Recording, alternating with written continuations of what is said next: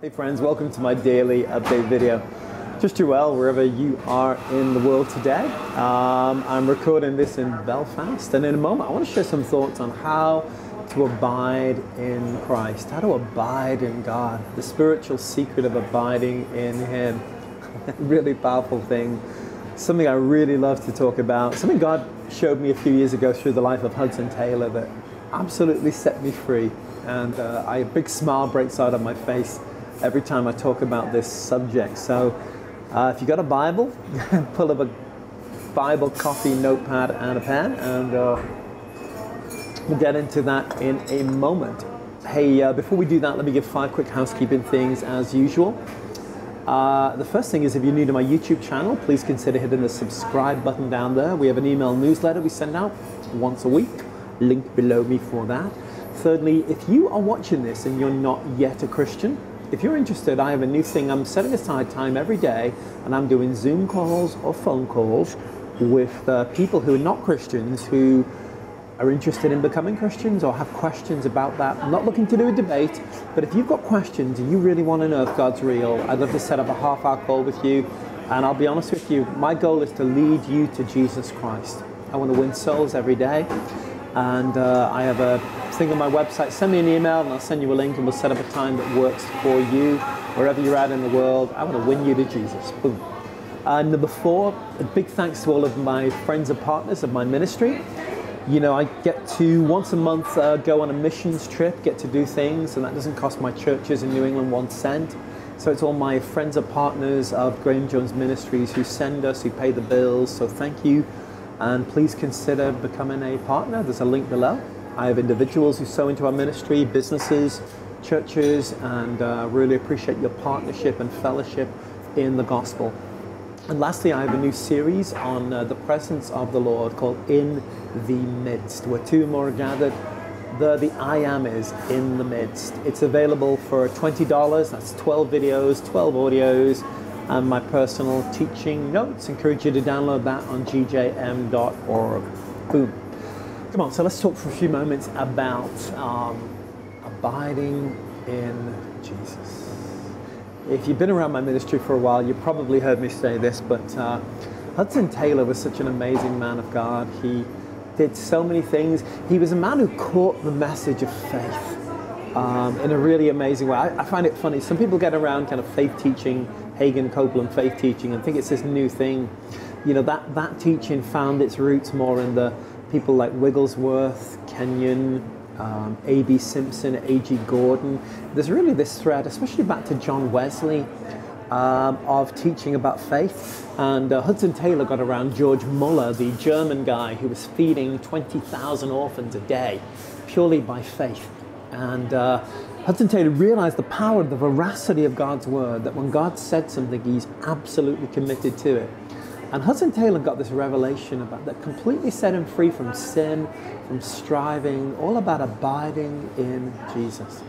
And it's so vital, I believe, that we learn this. Let me read some verses here. John 14, verse 20 has got to be probably my favorite verse in the entire Bible. It says, In that day, and that's today, in that day you'll know that I am in my Father, that you are in me, and that I am in you. He who has my commandments and my word and keeps it, it is he who loves me. And he who loves me will be loved by my Father.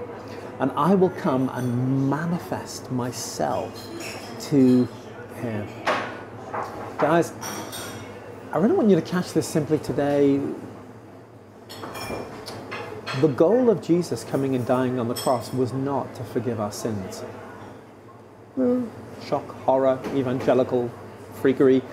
Um, the goal of Jesus forgiving our sins was to bring us back into fellowship with the Lord. And God wants a relationship with us, which is so intimate, so glorious. He wants to literally become one with us, to abide with us. He says in John 15, I'm the vine, you're the branch. How can you separate the vine from the branch? And so often our Christian life consists of us trying to do things to please God, trying to do things to conquer sin, trying to do things to change and affect the world.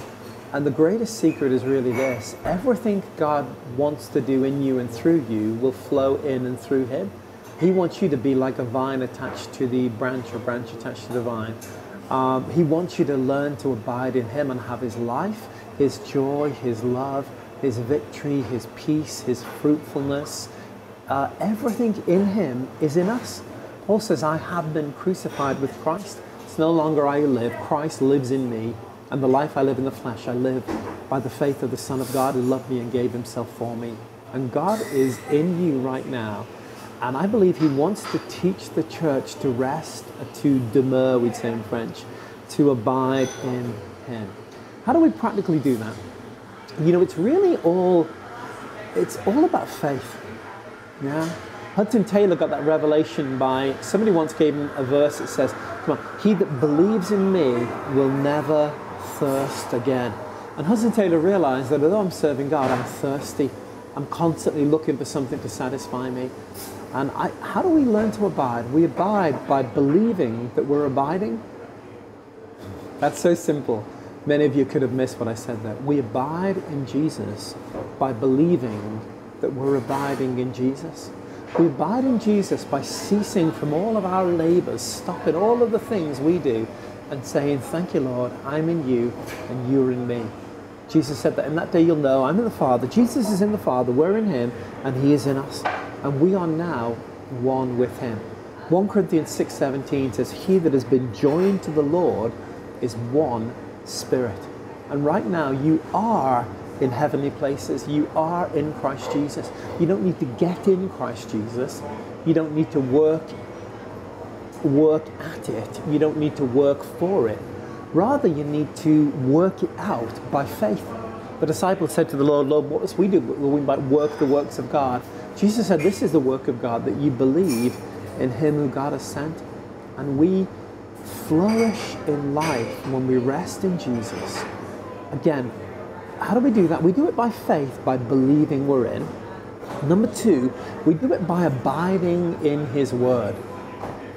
He's not saying here that by learning a bunch of commandments and trying to do them, that's going back to the law. But by actually realizing the power the grace of God, the power of God that we need to fulfill those commandments is actually in His Word. And we literally, we've got to sit in the Word of God, think about the Word of God, rest in the Word of God, speak the Word of God, pray the Word of God. We should literally be like somebody walking through a forest. We should be walking through the Word of God and letting it dwell in us, thinking the thoughts of God. The life and the grace of God are in His Word. Lastly, I would say we abide in Him by sitting in His presence, by loving Him, by worshiping Him, by finding that place of rest in Him where we're not even trying anymore. It's not about us trying to get into God's presence and banging the gates, where we, we stay, we rest, we abide in Him.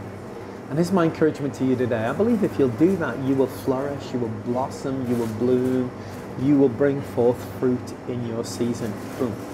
Thanks for watching, guys. Appreciate that. And uh, drop me a line and do some of this in your life today. Have a great day wherever you're at. And I'll be back tomorrow with another video. Bye for now.